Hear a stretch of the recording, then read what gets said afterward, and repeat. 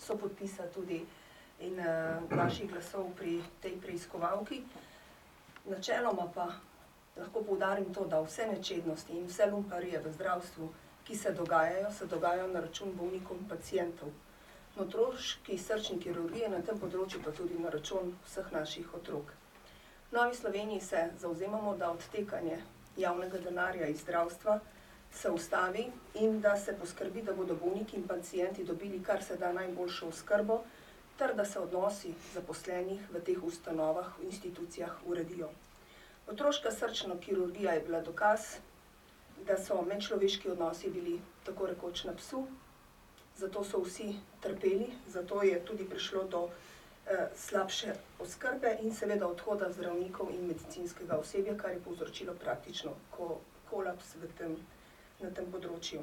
S preiskovalno komisijo želimo ugotoviti prave vzroke, tudi politično odgovornost vseh, ki niso ukrepali in zaščitili najšipkejših otrok, družin, pacijentov, bolnikov. Eh, lahko tukaj rečem, da je to ustanavljanje preiskovalne komisije tudi lahko velik madež tudi za nedelujoče slovensko pravosodje, ker če bi slovensko pravosodje in organi bili ustrezni in seveda preiskovani na tem področju, v državnem zboru ne bi bilo potrebno ustanavljati preiskovalnih komisij.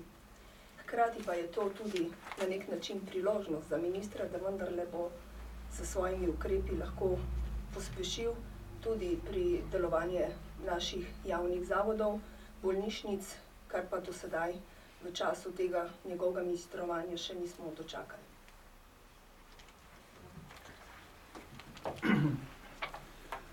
Slovenska nacionalna stranka se je odločila, da gre v sopodpis te parlamentarne preiskave z namenom, da ne le, da se razkrijejo svinjarije v slovenskem zdravstvu, ampak da se jih tudi sankcionira.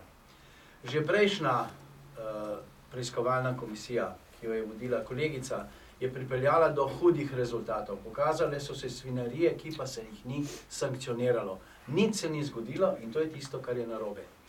Eh, kakor kaže, so seveda na določenih nivojih politični sloji, ki so pri vladanju in pri vodenju določenih inštitucij, tako tudi eh, in pa zdravstvenih ustanov, zelo tesno povezani.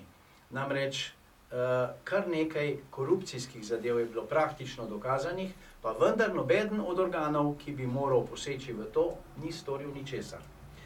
Ta uh, nova zahteva za odreditev parlamentarne preiskave ima kar 40 ali ne zahtevanih pojasnil, ki jih bodo morali pojasniti vsi tisti, ki so prizadeti.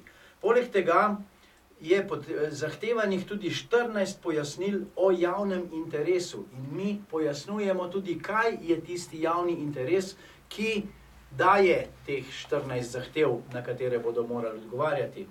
In pa zakaj je uh, in pa 11 okvirov, kaj naj preiskava sploh zajame. Dejstvo je, da v tej parlamentarni preiskavi je zelo koncizno dodelano čisto vse. Odgovori vseh tistih, ki bodo vprašani in izprašani, bodo morali biti točni. In uh, samo nečesa se se si želim uh, in si želimo v vseh treh strankah, da bodo tisti, ki bodo spoznali, da so kršili ali zakon, ali kakšna etična načela, ali kaj podobnega, da bodo sankcionirani, kaznovani in odstranjeni z tistih, tistih delovnih mest, kjer so delali škodo.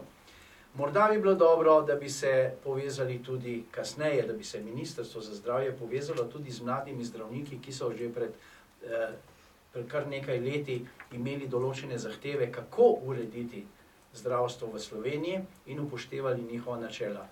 Bomo videli, kaj bo naredil novi minister, predvsem pa minister mora vzeti to parlamentarno preiskavo kot pomoč pri svojem delu in seveda te uh, izsledke, ki jih bomo odkrili, tudi upoštevati in izpeljati tako, kot je treba.